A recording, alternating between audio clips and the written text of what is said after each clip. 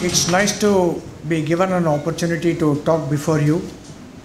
And uh, even though I was told that uh, I have to speak in slow English, the way you were all reacting to the previous speakers, I was very much convinced that all of you are very comfortable in English.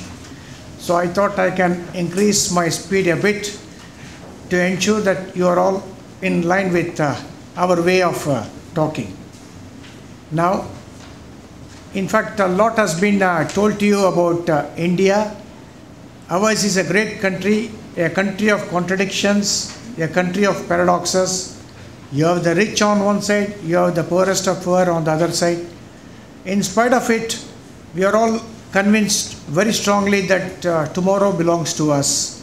And with that hope, we are now trying hard to sell our country, and particularly to uh, our Korean friends who have made it big in India now. You can see the examples of Hyundai, you can see the examples of uh, Samsung and uh, LG.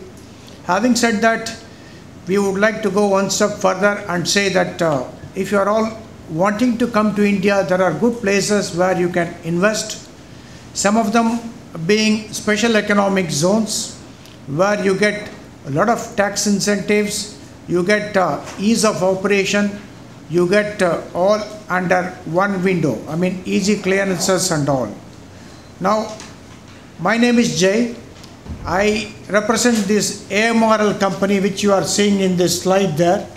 I am not going into this because it's going to take time. I would like to run through that and uh, cut short my discussion.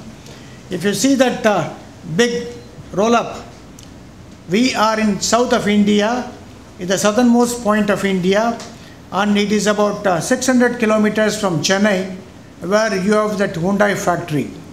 And we are one of the uh, lowest in terms of the cost of operation and whatever we are now offering you is having a lot of strategic advantages in terms of uh, proximity to sea proximity to airport and you also have other advantages like support from the government to promote industries in that zone now what i can say is that uh, once you decide to, to make it to India, you can contact our local chamber here. I have also left some uh, brochures for you to have more ideas about uh, our company and the way we can offer incentives and other benefits to you.